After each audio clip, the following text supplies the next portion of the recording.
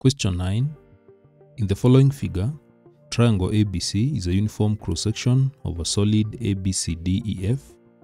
Given that BE is one of the edges of the solid, complete the sketch showing the hidden edges with broken lines. So for this question, you need to do it uh, accurately. Therefore, you'll need a ruler and a pair of compasses, as you can see. So this is how you're going to draw the remaining edges so take the pair of compasses and you're going to first take the measurement BE. So let's take the measurement BE, BE. So we take measurement BE, then that is the measurement BE. Then because on the other side, the opposite side, on this side you need the same measurement.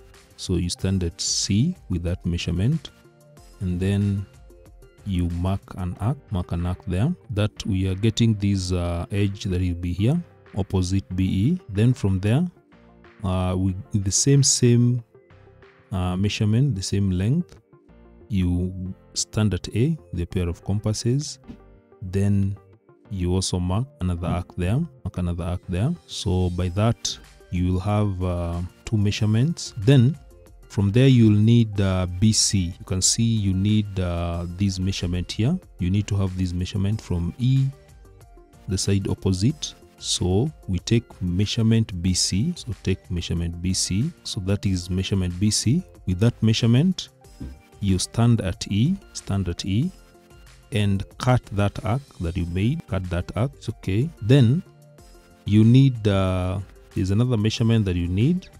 This measurement that is here. You need this measurement that is opposite uh, AC. That measurement will be equivalent to AC. So take measurement I take that length AC. So I'm taking AC, that is AC. Then stand at this point of intersection of these arcs, point of intersection of these arcs, and cut that arc.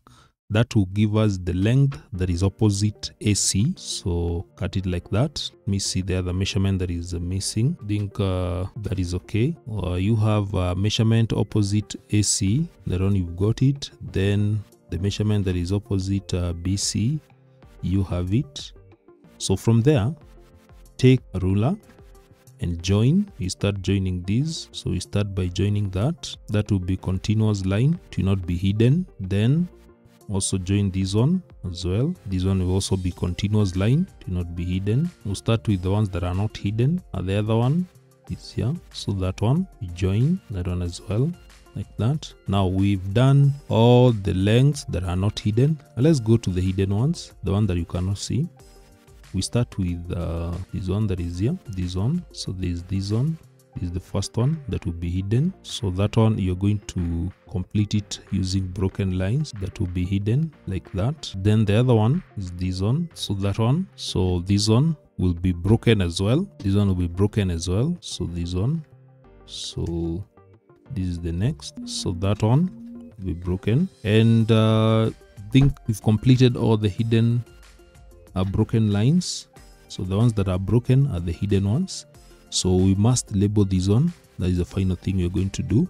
So a b c d e f. So this will be a b c. Then d will be there. E will be there. And f will be there. So you have completed uh, the sketch and we have shown all the hidden edges with broken lines. So that is how we're supposed to solve that